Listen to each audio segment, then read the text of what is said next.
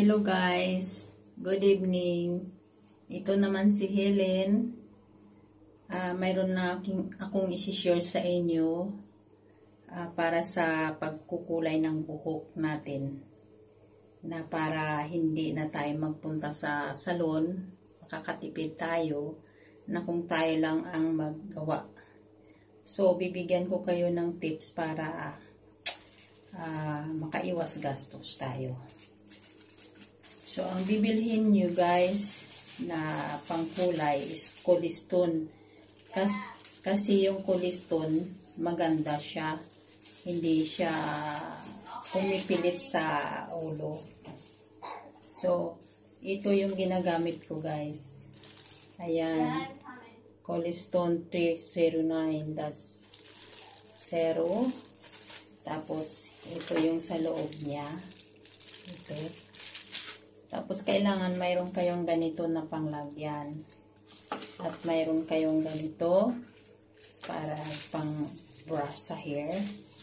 At para ganitong suklay lang. At saka ito. So, ipaghalo-halo ninyo guys sa ganito. Ihalo nyo lahat. Tapos, i-leave nyo like 5 minutes para mas maganda.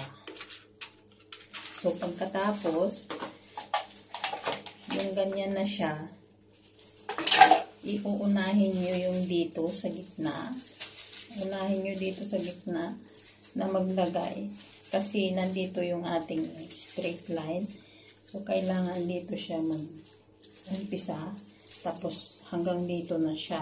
Umpisahan nyo na. At tapos, hanggang dito na rin. Hanggang sa likod. Ganyan ninyo. Pero, ang ilalagyan nyo lang guys, yung roots niya. Huwag nyo nang ilagyan yung dito. Kasi, yung dito, ganyan na yung kulay niya. So, yung sa roots niya, ito yung 30920 ilagay mo. So, magpantay na yan. Tapos, kung gusto mong uh, ibabad hanggang umaga, pwede din. Kasi yun ang ginagawa ko. Pagka umaga ko na ibabanlawan para mas maganda yung ano niya, texture niya na yung kulay niya ba.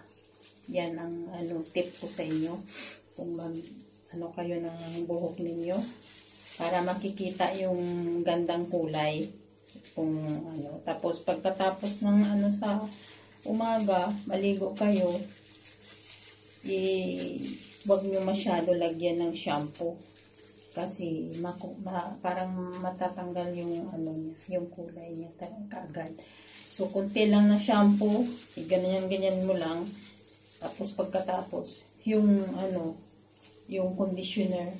Lagyan mo ng conditioner dito sa luha, ano, sa baba. Huwag na doon, huwag na dito sa may taas. Dito na lang sa baba, guys. Para mas malambot yung buhok niyo. Pagkatapos, eh, mag, ano ka, maglagay, mag ano ka ng, magtuyo na siya kaagad magplansa, iplansahin mo na siya para mas maganda patingnan. Ayan ang tip ko sa inyo guys. Kahit na magpanil polish kayo, kung kayo lang man din marunong, kayo na lang para iwas gastos. Kasi yan na talaga ang ano kailangan tipid-tipid tayo kunti. Kasi syempre uh, mahirap naman maggastos-gastos ngayon kasi ma, ano na down na yung ekonomiya ng bansa natin. So kailangan mayroon tayong ano uh, iniisip na kagaya nito kung magpapa ano kayo magpapasalon kayo magkano na. So bibili lang kayo nito magkano lang to guys kung mag ano sa Carrefour mag-sale sa Carrefour, 8 dirhams lang to siya. So, yun ang ginagawa ko. Inaabangan ko lagi yung ano, sale sa Carrefour. Sa Mall of Emirates lang. Mayroon na ano siya, yung mga sale na ganito. So, makakaiwas tayo. Makakatipid pa. So, ganyan lang yung ano ko. Tip ko sa inyo guys. At salamat. Uh, kung magugustuhan niyo i-likes lang. Likes, comment below, and subscribe.